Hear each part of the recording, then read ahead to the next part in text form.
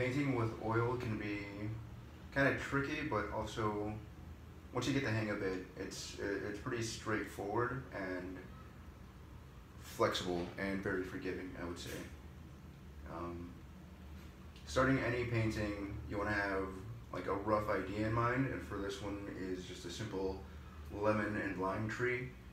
Um, and then to actually get started, to like just hit the ground running, I like to start by making um, or establishing the form, the general form of uh, whatever I'm painting. So in this case, it's like the, the branches, the trunk, uh, and the general outline of how much uh, space this tree is going to take up.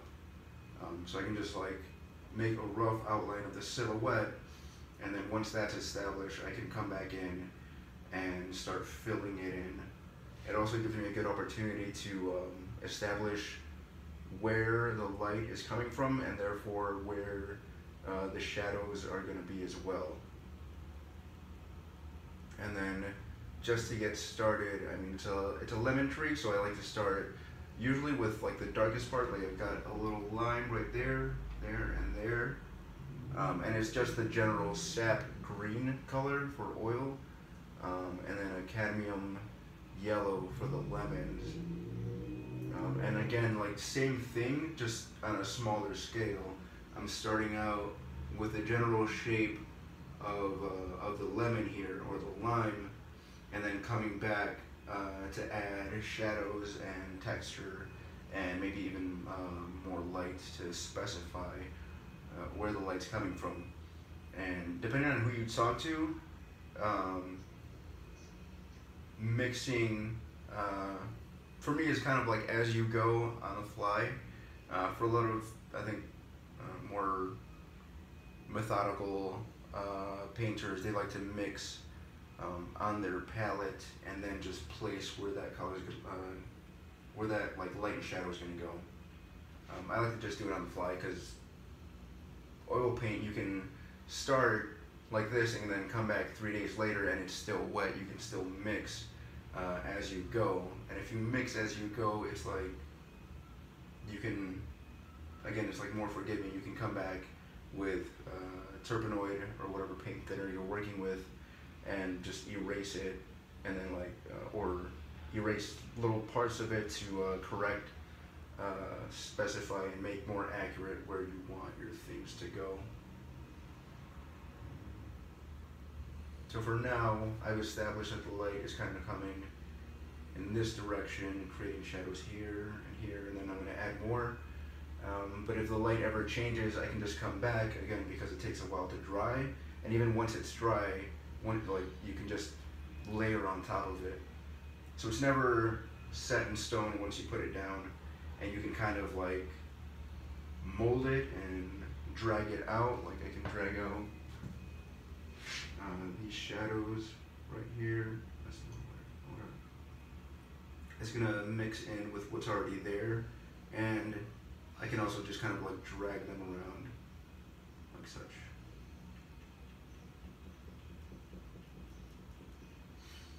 And then for lemon trees, if you ever have a like a reference picture, you can just um, use your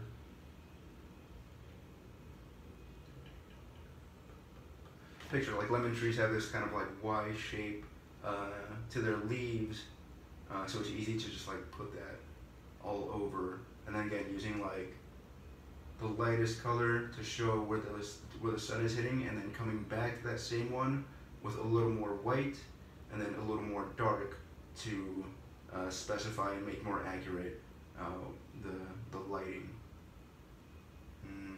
If you notice, I never use black in any of my paintings. I usually mix for black because once you put black on uh, the canvas or the whatever material you're working with, it ends up looking not black or just kind of um, it's kind of void.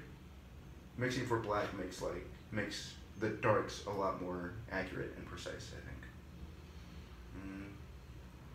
Mm. Like another, there's like a pretty good gunk of, um, of paint right there.